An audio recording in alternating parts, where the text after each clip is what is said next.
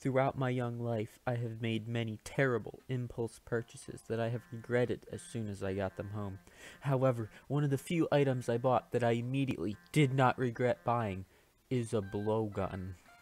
Why do I not regret buying a blowgun? Because they are cool.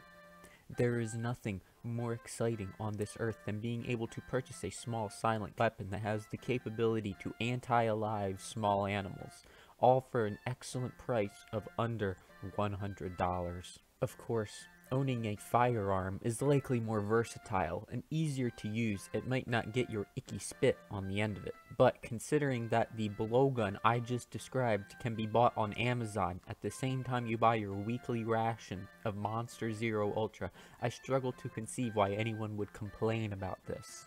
Just think about the many advantages of having a blowgun in your life. Imagine squirrels keep attacking your bird feeder box, but you live in the suburbs, and the Karen HOA Waffen will report you to the police if even so much as a finger gun appears on your hand. Well, luckily with your blowgun, you can discreetly and silently dispatch the stupid little shits from disturbing your pretty birds, as well as now having a special surprise to put on your local Karen's front door in the middle of the night. Now, I should say, I do not own the uh, lethal caliber blowgun, as mine is measly, and is more or less just a toy I never really cleaned. But the fact I now have the capability to properly display my anger against Bethesda for making Fallout 4 and 76 in a silent and non-aggressive manner is truly a blessing upon this earth. Everyone should own a blowgun. Yes, you can own a stupid $300 blade that you will never use and say you can protect yourself.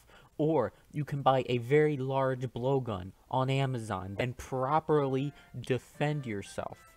Buy a blowgun and increase the excitement in your life, so long as you use them safely and do not in any way intentionally harm others. Be safe and friendly, everyone. This is a satire video on an irony page. Do not take anything I say seriously.